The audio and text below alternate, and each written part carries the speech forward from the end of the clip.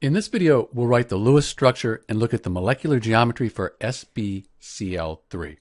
First thing is, let's count the valence electrons up.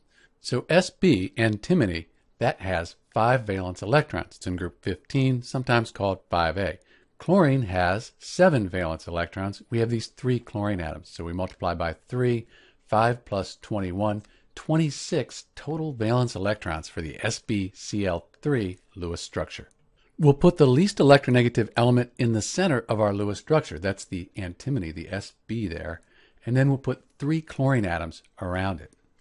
Next, we'll place a pair of electrons between atoms. That's going to form our chemical bond. After that, we'll complete the octets on these atoms on the outside, these chlorine atoms. So at this point, we've used 24 valence electrons. We have 26. We're going to put that last pair of electrons there on the antimony in the center of our Lewis structure. So this is the Lewis structure for SbCl3. If we look at this, each chlorine atom has an octet. And then the Sb, the antimony in the center, that has eight valence electrons, an octet as well. If we wanted to look at the molecular geometry, let's visualize this. The purple, that's the central Sb, and then we're going to put the three chlorines around it. One, two, they're spreading out to be as far away as they can from each other. Three, we get this trigonal planar structure. But remember that lone pair we had there. We need to put that in. We put our lone pair in, and that forces all these atoms here down, these chlorine atoms down.